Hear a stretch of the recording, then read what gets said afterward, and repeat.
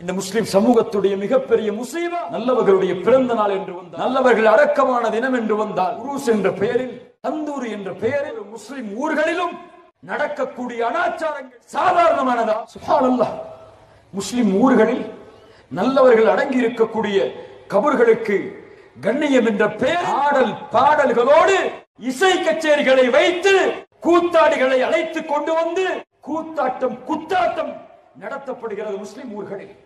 எப்படி காஃபிர்கள் எப்படி இறை மறுப்பாளர்கள் தங்களுடைய வணக்க ஸ்தலங்களில் திருவிழாக்களை ஏற்படுத்துவார்களோ அதற்கு எந்த மாற்றமும் இல்லாமல் லட்சக்கணக்கான தொகை ருருஸ் என்ற பெயரில் ஜெண்டாக்கள் என்ற பெயரில் கந்தூரிகள் என்ற பெயரில் முஸ்லிம் சொத்துகள் எல்லாம் வீணடிக்கப்படுகிறது எந்த ஒரு நன்மையும் இல்லாமல்.